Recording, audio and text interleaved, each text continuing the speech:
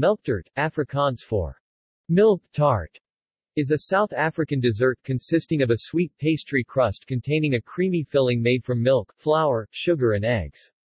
The ratio of milk to egg is higher than in a traditional Portuguese custard tart, pastel de nata, or Chinese egg tart, dan ta, in which both was influenced by the Portuguese, resulting in a lighter texture and a stronger milk flavor.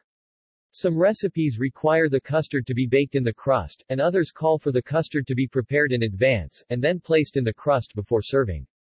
Cinnamon is often sprinkled over its surface. The milk used for the custard can also be infused with a cinnamon stick before preparation. Melktert is described as a dessert that shows distinctive Dutch traits. See also Cook and enjoy it, authentic South African recipes. List of African dishes. External links. Die Wen Melktert, hires Die Recep. Sarie, 28 May 2009